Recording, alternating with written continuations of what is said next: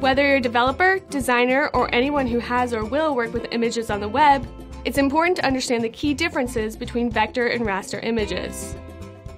A raster image is made up of lots and lots of tiny dots or pixels, each a different color, arranged to display an image. For example, as we zoom into this real life image of Mike the Frog, you can see each one of the individual pixels.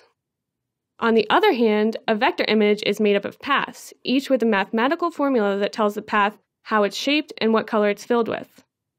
Unlike the raster image of Mike the Frog, as we zoom into this illustration of Mike the Frog, you see not individual pixels, but solid shapes of color. The major difference between the two is that raster images don't retain their appearance as size increases. When you enlarge a raster image, it becomes blurry. Vector images, on the other hand, retain appearance regardless of size. It's just recalculated to a larger size than the original.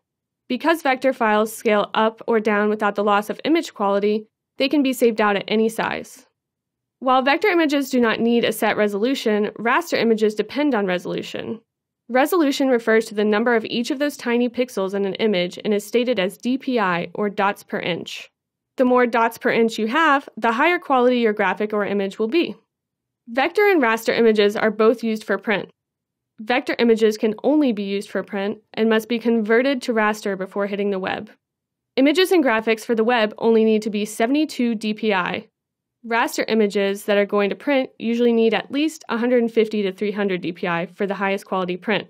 Since we're focusing on the web, we won't go into much further detail, but begin to understand how resolution comes into play when dealing with images and graphics. If you're not sure whether you should create a raster or vector file, ask yourself Are you drawing something from scratch or with only a few colors?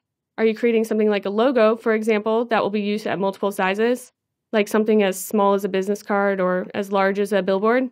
Make it vector. Or are you working with something that will only be used at one size? Are you editing a graphic or photo with tons and tons of color, effects, and rich detail? Make it a raster.